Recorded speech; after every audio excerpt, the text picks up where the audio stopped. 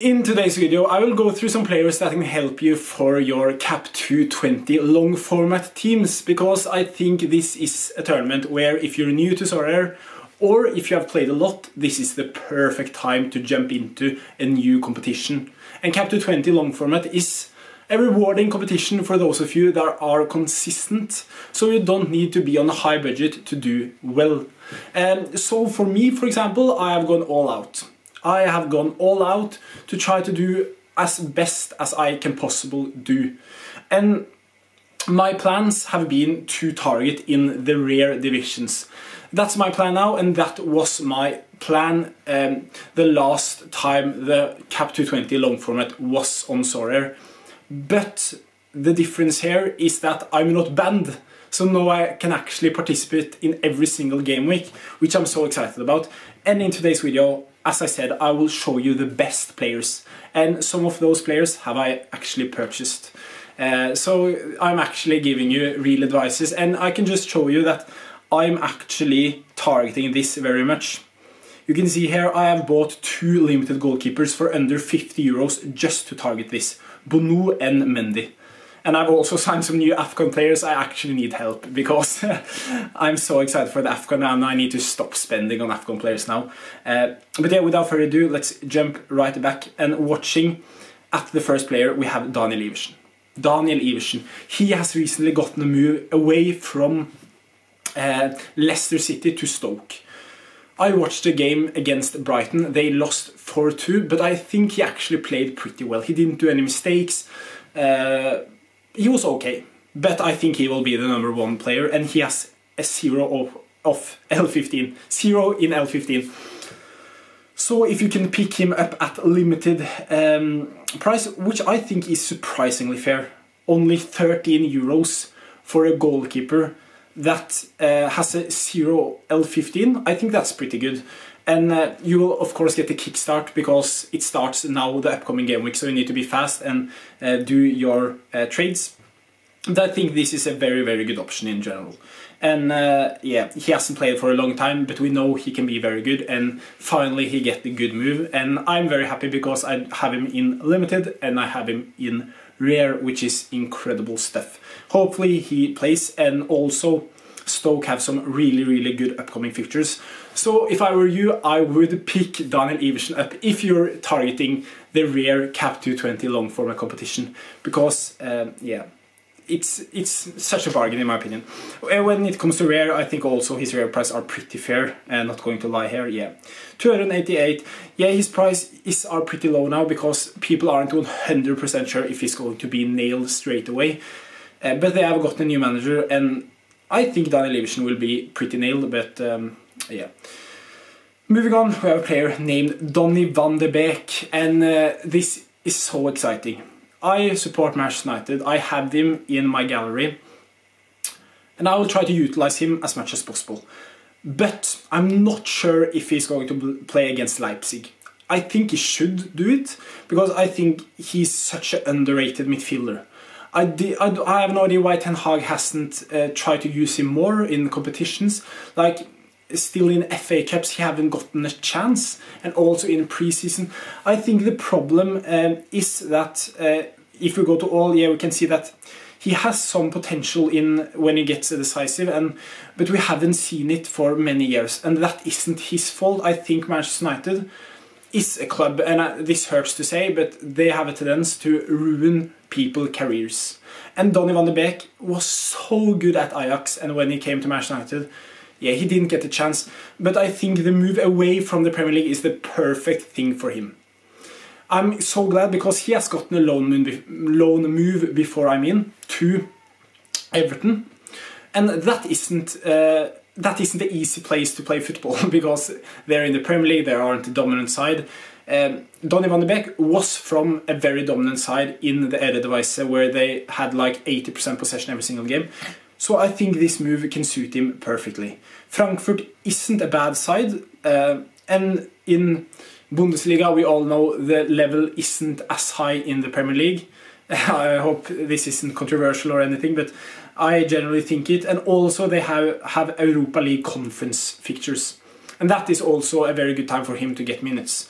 Uh, and um, Yeah, uh, of course, in Frankfurt they have the likes of Skhiri, uh, but I think Donny van de Beek will be a box to box player in the team. I think Skhiri will be the CDM and he will be a more box to box player. I don't know too much about Frankfurt, but in terms of the price 10 euros and 100 euros, I think it's very fair because I think he can perform very, very well and he's only 26 years old. And uh, yeah, very, very exciting to look into his future. And uh, yeah, this is a little bit of a risky one, but I think it can pay off. And the next player is Montassar Talbi. And yeah, yet another very interesting player. But before we go any further into the video, uh, I really like to remind those of you that watch the videos that how to enter the giveaway. You need to like and subscribe every single video from Monday to Friday, and then you need to comment your Sorare username on Friday's video. But let's get back to Montassar Talbi. Uh, as you know, in the upcoming game week, uh, the AFCON is on, and uh, therefore it will be a lot of players that have low L15s that doesn't play for their club, but they play at international level. And I think this is so important to utilize. And Montassar Talbi is a player that scores not so good, especially in recent times for his team Lorient. Uh, that's because they have been very, very bad and they will most likely go down. But another reason is that uh, he is very good for Tunisia, his team. And I have looked at his last scores, and because uh, most of the African uh, League World Cup qualifiers aren't covered by Sorare, but I have done a little bit of research, and he has some insane average scores in when playing for Tunisia. And if he can keep that up in the AFCON, he will be a very good player that will beat his L15 every single game. And in terms of his price, just incredible fair. A little over 2 euros and a little over 30 euros in rare. Extremely fair in my opinion. And he, he also have some very good features in the AFCON, and he also have some features after the AFCON. Le Havre, Metz, Reims, uh, it of course depends how good Tunisia does it, but you will have a lot of utility from this guy, and I think this is a very, very good card to pick up for the AFCON and also afterwards.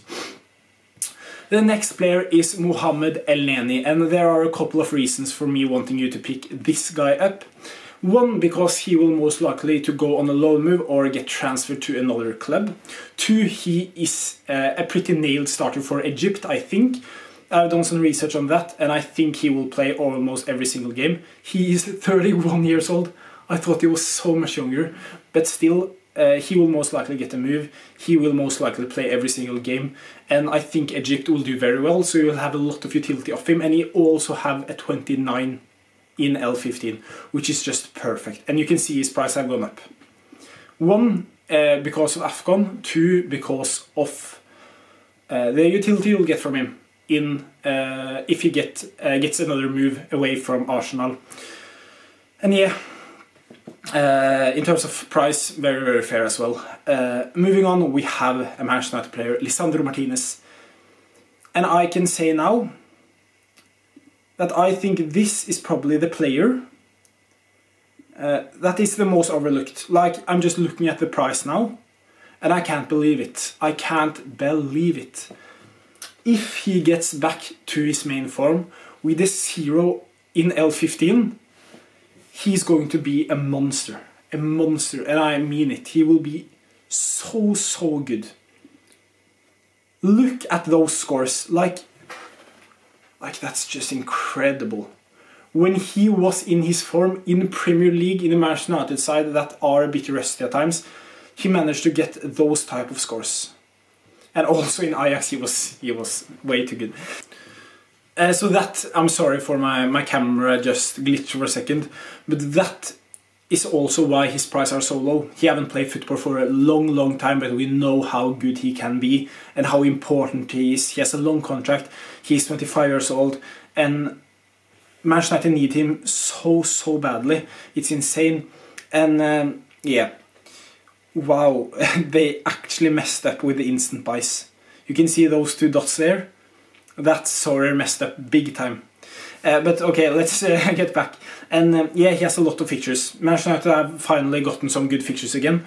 And yeah, I think Lisandro Martinez, the butcher, will be such important piece to that glory. Hopefully, Ten Hag will um, will find in the next couple of weeks. So, unfortunately, so unfortunately, I mean that Manchester United didn't get Tim Werner. I would love him at the club, but also he's a perfect cap 220 player. You want to play him in not a big priority lineup at the start because you don't know what to expect at the start. But we know when he gets back to his best form, he will be incredible, as he was most of last season. The next one is Casemiro, another example. I won't go too much in depth about the Manchester United players, but one of the reasons I'm mentioning them is because I have uh, pretty much knowledge um, regarding them. Casemiro is another example of a player that is so undervalued that it isn't fun. He's 31 years old and he's so important to Manchester United. He has been injured for a couple of months, but we know when he is at his best, he puts up incredible scores. Like he is a sorry monster, uh, AA monster, I mean. And um, yeah, uh, I really like Casemiro. Zero in L15, the perfect capped player for the start of the season. Not start of the season, but start of the um, start of the uh, what it's called. The start of the Cap 220 long format competition. I mean. Uh, incredible, incredible player, and uh, yeah, I think he will be very, very important. The next player is another Afcon players player, I mean, Aissa Laidouni. And uh, yeah, I just think in terms of the price, in terms of the fixtures, in terms of how nailed he is, he's the perfect player. Perfect player.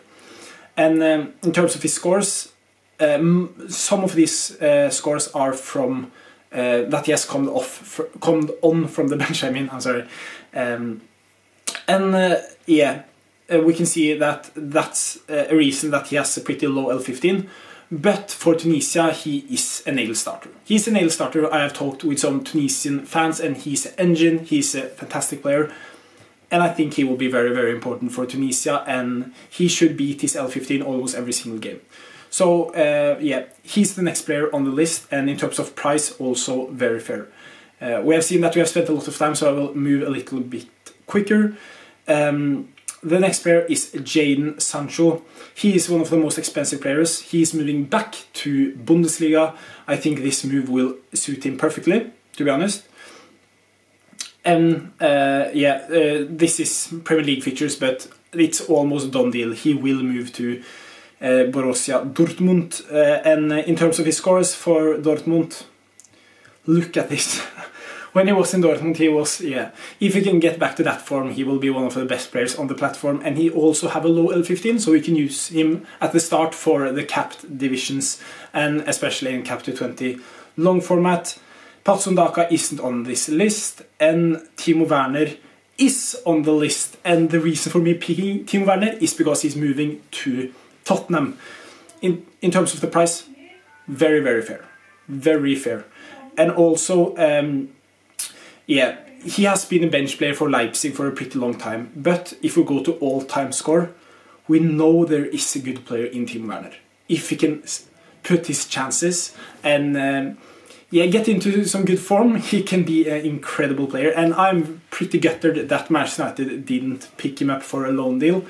Uh, shout out to Tottenham for making it happen because I think they have gotten a bargain. I really like Timo Werner and hopefully he can perform for you guys, I hope he doesn't perform because I don't want to pick him up, pick him up now because he's playing at Tottenham and I support Manchester United.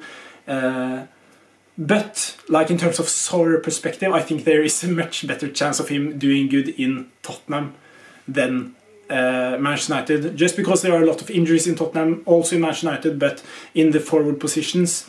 And um, yeah, uh, very interesting to see how uh, good he will be doing. Uh, but yeah, I think that was today's video. I hope you enjoyed it.